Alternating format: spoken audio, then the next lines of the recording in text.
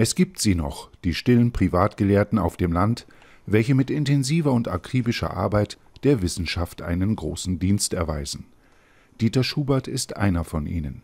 Der Galerist für chinesische Kunst hat sich ganz der Erforschung der deutsch-chinesischen Beziehungen verschrieben und ist dabei auf eine Figur der Zeitgeschichte gestoßen, die ihn nicht mehr loslässt: Erich Paulun. Es gibt wenige Menschen, die auf so imponierende Art das Fundament für die guten deutsch-chinesischen Beziehungen unserer Tage gemauert haben wie der 1862 im mecklenburgischen Pasewalk geborene Erich Paulun. Früh zum Vollweisen geworden, lernte Paulun rasch die Fähigkeit, sich im Leben zu behaupten und seinen eigenen Weg zu gehen.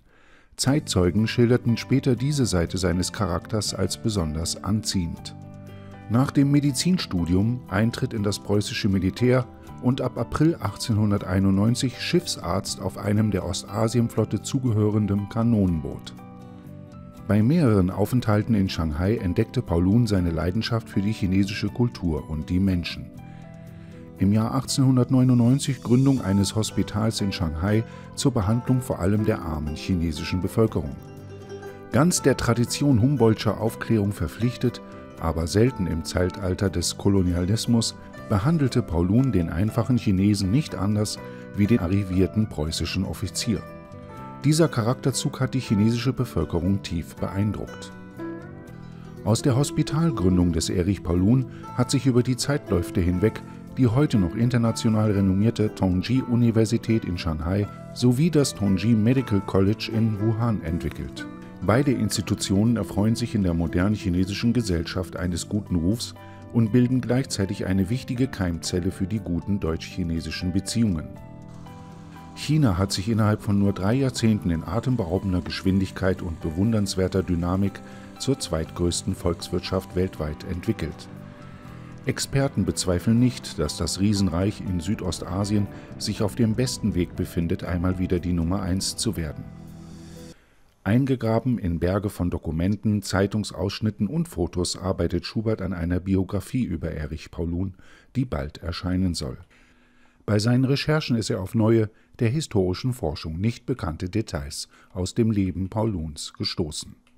Chinesische Medizin ist jetzt 100 Jahre später in aller Munde und sie ist anerkannt.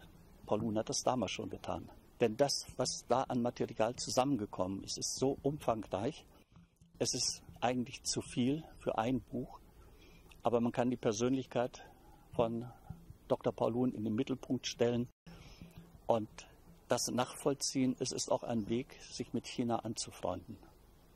Aber die chinesische Kultur hat es unverändert gegeben, seit den Anfängen unserer Kultur.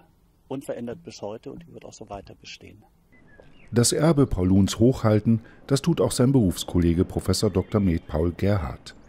Der ehemalige Dekan der Medizinischen Fakultät der Universität Heidelberg und Emeritus der Technischen Universität München ist der Gründer des Erich-Paulun-Institutes. Bereits in den 1970er Jahren hat der Mediziner erste Bande nach China geknüpft, die sich seither stetig verfestigt haben. Ob als Berater von Kanzler Helmut Kohl oder als Förderer des interkulturellen und wissenschaftlichen Austauschs mit China. Professor Gerhard hat das Reich der Mitte, wie manch anderen, nicht mehr losgelassen. Das Erich-Paulun-Institut fördert junge Menschen, die sich mit dem Land befassen wollen, auf vielfache Weise. China at School heißt ein Programm, das sich an Schüler wendet, welche die chinesische Sprache erlernen wollen und soll auch deren Eltern ermuntern, ihre Kinder bei diesem Ansinnen zu unterstützen. Für den China-Profi, der sehr wohl um die Schwierigkeiten weiß, diese so ganz andersartige Sprache zu erlernen, überwiegen dabei die langfristigen Perspektiven wenn man den Schülern und deren Eltern überhaupt mal klar macht, welche Bedeutung China für den deutschen Markt hat.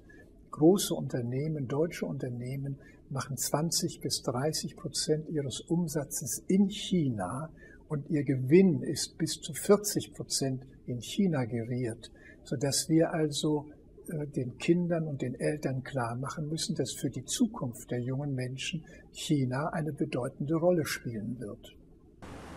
Ein weiteres Angebot des Erich-Paulun-Institutes richtet sich an Studenten. Die Gründung von deutsch-chinesischen Studentenclubs an wichtigen deutschen Universitäten soll einerseits das Verständnis für die jeweils andere Kultur intensivieren, Freundschaften unter chinesischen Gaststudenten mit ihren deutschen Kommilitonen fördern und darüber hinaus durch eine Reihe von Veranstaltungen das Miteinander gestalten. Hierzu zählen Werksbesuche, Vortragsabende, gemeinsame Ausflüge oder gesellige Events. Jeder Studentenclub hat einen Tutor, der dieses koordiniert und Ansprechpartner ist. Für Institutspräsident Professor Gerhard steht dabei ganz im Geiste Pauluns der gegenseitige Respekt und die Freundschaft im Mittelpunkt. Das sind ja schon primär junge Menschen, die offen sind für eine solche freundschaftliche Verbindung. Und wenn es diese Clubs an möglichst vielen Hochschulorten geben wird, werden diese auch Beispiel geben für Nachahmer. Und beide Seiten werden bereit sein, den anderen mehr zu akzeptieren und ihm zur Seite zu stehen. Denn aus diesen Studenten werden eines Tages Unternehmer oder Diplomaten oder Künstler oder Wissenschaftler. Und wenn diese schon als junge Menschen diese freundschaftlichen Verbindungen gepflegt haben, werden sie die fortsetzen und auf dieser Basis sehr erfolgreich sein. Die Angebote des Erich-Paulun-Institutes werden von den Lernenden und bisweilen auch von den Lehrenden dankbar aufgegriffen. Und so wird Mitte dieses Jahres, wenn der Institutsgründer die Stafette an seinen Nachfolger, Professor Schmidt-Linser in Tübingen übergibt, auch etwas vom humanistischen Geist Erich Pauluns von der Isar an den Neckar wandern.